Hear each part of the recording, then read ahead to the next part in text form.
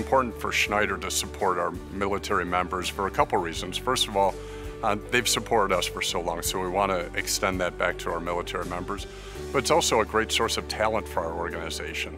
The values of the military align very closely to our organization. I think there's uh, a teamwork element here that was very relevant uh, as well. And the other thing in logistics and transportation is uh, no two days are alike. And so the contingency response and uh, just figuring it out to serve our customers is you know, very much a match to my experience in the military. Vets have already been through some weird and interesting schedules. And one thing about being truck drivers, schedules and same.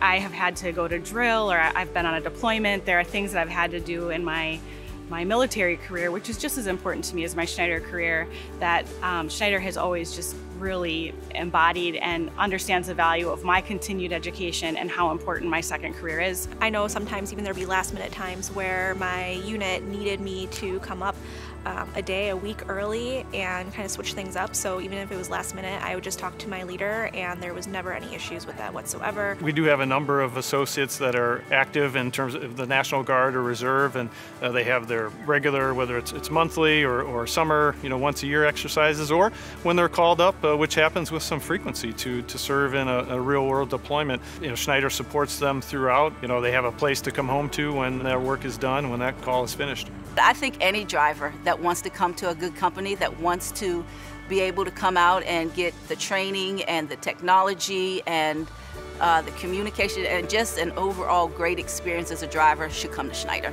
15 years here, uh, I, I, don't want to look for anything else because I know that I'm going to be well taken care of, not only as a Schneider employee, but also as a veteran.